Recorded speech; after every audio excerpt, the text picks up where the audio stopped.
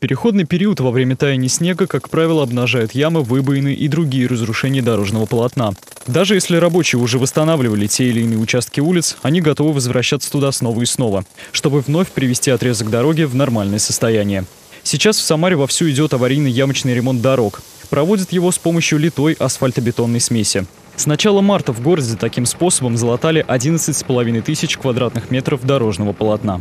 По качеству у нас э, муниципальным учреждением дорожного, дорожное хозяйство ведется постоянный контроль, проверяются анализы э, литой смеси, контролируется ее укладка, замеры температуры, способ укладки, подготовки ям. То есть пока проблем у нас не возникало. Улица Клиническая оказалась одной из проблемных в городе.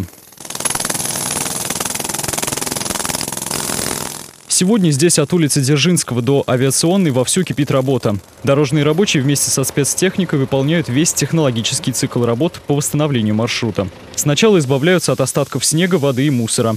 Затем с помощью отбойных молотков яму обрубают, задавая нужную геометрическую форму, чтобы асфальтобетонная смесь легла ровнее. Далее залитую смесь разравнивают и дают остыть. Уже через полчаса по этому участку могут ехать машины.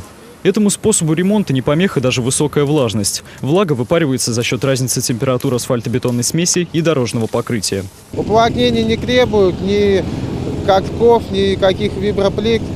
Смесь сама растекается и уплотняет со временем. План по ремонту и обновлению дорожной сети формируется практически каждый день. В работу оперативно берутся участки, на состояние которых жалуются жители в соцсетях. Также работают с маршрутами, обновлять которые предписывают надзорные органы, например, ГИБДД.